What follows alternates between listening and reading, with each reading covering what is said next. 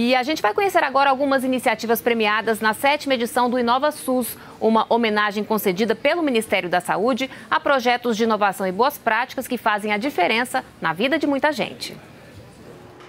Tereza Cristina trabalha atendendo reclamações de usuários do sistema de saúde de Guarulhos, na Grande São Paulo.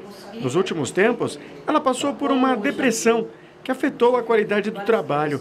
Ela recorreu então ao Departamento de Saúde do Trabalhador da Secretaria Municipal, onde passou a ter acompanhamento psicológico. Para mim foi uma coisa muito boa, né? Me levantou de um modo assim, que eu não, não, não pensei que eu fosse ser tão bem acolhida. O projeto Acolhimento atende 500 profissionais da Rede Municipal de Saúde de Guarulhos.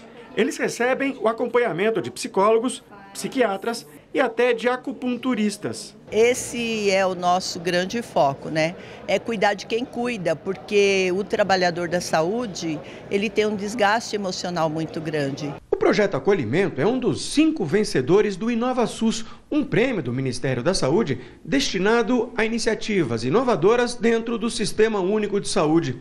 A ideia é multiplicar boas práticas na gestão da saúde pública no Brasil. Outra iniciativa premiada foi a do Laboratório de Tecnologia Assistiva de Baixo Custo do Hospital Metropolitano de Urgência e Emergência de Ananindeua, no Pará.